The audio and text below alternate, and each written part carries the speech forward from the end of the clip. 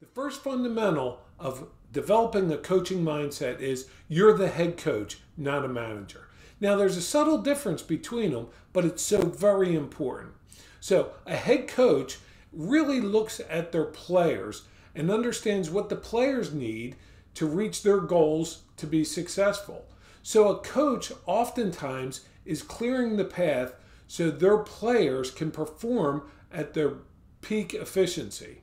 That's going to get the job done very well and it's going to create a much better morale and a team effort.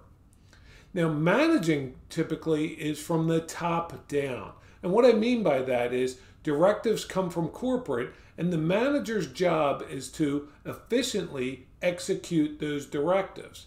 Now, oftentimes that leaves the players out in the cold.